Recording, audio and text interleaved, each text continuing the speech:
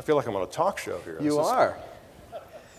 Hey, I got my United Airlines pen, so I got to switch out pens here, so I'm very appropriate. Well, you talked a lot about the merger, but we'll, we'll get back to that for in a minute. I'm, I want to dig right in with something that uh, is very important here to our audience. You may have heard that airlines and GDSs have been in the news a lot lately, maybe in the courtrooms a little bit, and um, about concerning the future of travel distribution. Where, where does United stand on this? Well, Mike, we want to be uh, easy to do business with. Right? We want to be in uh, uh, all distribution channels, or as many as we, as we can be in. Um, we um, are uh, uh, rapidly evolving as a business, as you know, uh, with the unbundling of our product and the rebundling of our product and the technological change and our, our growing ability to communicate directly to customers. Um, and it's important uh, that our partners, whether they be partners as GDSs or partners in online travel agencies or, or, or, or others, keep up with that degree of technological change. Um, but we do want to be, we, we do want to be in, in a broad array of distribution channels. Um, at the same time, those distribution channels have got to be cost efficient uh, and they've got to be technologically uh, adaptive to the products that we are creating and delivering. And, and although we've had this, uh, you know, what it was colloquially called unbundling, there are many, many, many more things to come.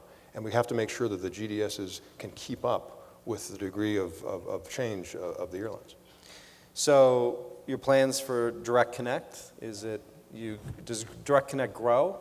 Or, Well, I, I guess I view the, the uh, you know, United.com site, uh, or now also the Continental.com site merging into the United.com site as, as direct consumer, right? And, and I think that, uh, you know, what grows is going to be based on consumer demand. I mean, we're going to be where the customers want us to be. Uh, we want to be on every shelf we can be on. Uh, there's no rule, however, that says that, uh, you know, Campbell's soup has to be on the Kroger shelf. Campbell's soup can also could be on the Safeway shelf or the Jewel-Osco shelf or the Dominick shelf, right? Uh, but uh, but we want we we, we want to be where there's a cost-effective distribution, and certainly uh, the the web for us is our is our least cost distribution channel. But that doesn't mean that that I would expect all travel to go through the web. No. right, okay. So uh, switch topics. You've been uh, critical from lack of support that you as an airline have been getting in Washington. Um, from your perspective, what's, you know, what's broken in, in Washington? And what would you have them do differently? Well, what's broken in Washington is pretty tough for the amount of time we have, but uh, We'll I add another couple hours if I won't helps. even go This there. good- it's a topic I Uh, like talking You know, about. I I think that I think that, that fundamentally the U.S. lacks an aviation policy, right. uh, and I think it's important that we have an aviation policy. I think that aviation is a good. Uh, it is uh, it is important for the exchange of people and uh, and and cargo and ideas and and um, you know it's a, it's an unalloyed good, and to tax this more heavily than alcohol, tobacco, and firearms um, to brutally overregulate us, to enact um, exceedingly oppressive regulations that have often very little consumer benefit, uh, but cost us an enormous amount of money to comply, is not a good aviation policy. And we clearly need also investment in our air traffic control system uh, because there's so much value in doing that. There's so much uh, there's, there's, there's not in terms of the time value and the throughput, but the fuel efficiencies alone. And there are many studies that show that we could save uh, 10% of our fuel burn if we had a modern air traffic control system. Right. And uh, you know, the, the New United, we, we, we, we burn 100 million barrels of jet fuel a year. And if it only half of that in the United States, saving 10% of half of that's a lot. Right. And uh, it's not just for us, but it re- it's reflective in, in, in, in consumer prices, in the time of people holding. I mean, there's so many things that we can improve. And this is, this is technology that exists today um, and, and can be used today. And it's, it's, just, a, it's just a shame that, that, that, that we're making so little progress. Part, part of that, uh, in terms of the cost of modernizing air traffic control, means that you also have to retrofit or fit your aircraft Mm-hmm. to also, you know, uh, take advantage of it. Uh, United willing to incur those costs to do so? You bet. Actually, we have a lot of equipage today already in our because we have quite a modern fleet. Right. And we're going to be taking a new aircraft have a lot of the equipage. The, the, the problem is a lot of the equipage we're just carrying around, burning fuel with the weight, but no benefit. And so the you know I don't mind pitching pennies with the government. What I don't want is pitch my penny and no, no other penny comes in because, you know, we invest in the equipage and then there's no utility to the, to the equipage. Well, then we've made a mistake. Right. Um, so you mentioned, uh, you know, aviation policy. Um, specifically, let's talk about the Department of Transportation. Uh, what, what kind of grade would you give them right now? Well, I, I don't, I'm not in the business of grading a regulator, so I, I think that's a, that's a pretty dicey thing to do. Um, so I, th- I, th- I thought I'd try. you yeah, know? I, I think we'll, I think we'll just stick to pass fail here. Okay. And? Pass. Oh, okay. I'd ask. Um, so now let's get back to the merger. Uh, United is now the largest airline, but does that make you the leading airline? Uh, no, not yet. No, no. We're becoming the world's leading airline, and uh, and we have work to do. There's no question about it. I mean, first of all, integrating these two carriers takes time and effort, uh, and and we're working we're working hard to do that. Um, we've got to get uh, we've got to be a glo- We have to have a glo- we're, we're a global airline. We have to have a globally competitive product. Right. Uh, we're working on that. Many of our aircraft are, are at that state. Uh, others are not. There's, there's no question about that. And we're just, as, we're, as, I, announced earlier, we're investing $550 million to bring the existing fleet up to make sure it's globally competitive. And of course, we'll be taking new aircraft. We've got 50 787s on order. We've got 25 A350s on order. We've got options for a whole lot more. We have, a, the, we have the best single carrier network in the world. Uh, we have lots of opportunities to grow, so, uh, but it will take time. We, we've got technology we need to invest in.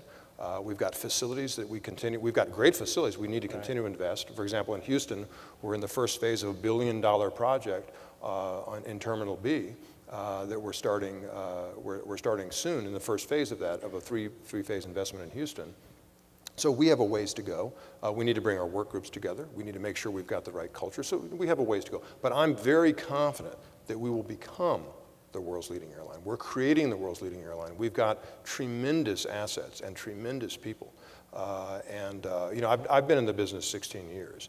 And this is the first real opportunity uh, uh, that, uh, that, that sort of anyone at Continental or United has had uh, to create something as durable and spectacular as what we're doing here. And I'll tell you, I've got a lot of very excited folks as a result. Any surprises during the merger? I mean, positive or negative?